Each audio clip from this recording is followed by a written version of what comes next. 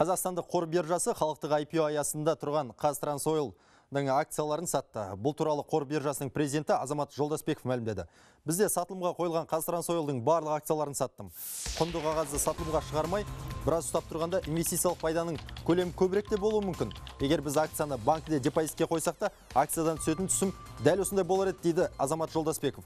Оның айтуынша қазіргі уақытта Қазтрансойлдың акциясын сату бойынша күніне 35-40-қа жуық келісімдер жасалады. Кейбір кездері құнды қағаздар бағасының төмендеп кеткенде орын алған, бірақ қазір керісінше акция құны өсуде. Қазтрансойлдың акциясы 800 теңгеден 870 теңгеге дейін өсті.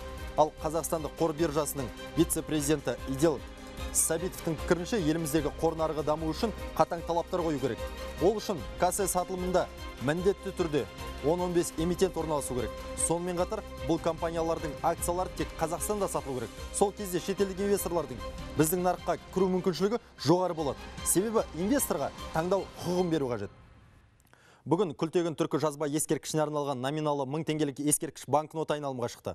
Бұл туралы Қазақстан Республикасы ұлттық банкі хабарлады. 2013 жылғы үлгідегі күлтегін түркі жазба ескерткішіне арналған номиналы 1000 теңгелік банкнота 10 миллион данамен тарайды. Ал әлемнің мұнай нарығында қара алтынның құны 5 есе арзандауы мүмкін. Сарапшылардың айтуынша бұған Иран мен Сауд Арабиясы арасындағы жанжал түрткі болуы мүмкін деп Ресей мұнай, мұнай ақпараттық сараптамалық порталы жазды. Сарапшыларға сенетін болсақ, баррель үшін мұнайдың бағасы 20 долларға дейін түседі. Әлемде бағаның мұншалықты төмендеуі 1990 жылдардың аяғында тіркелген.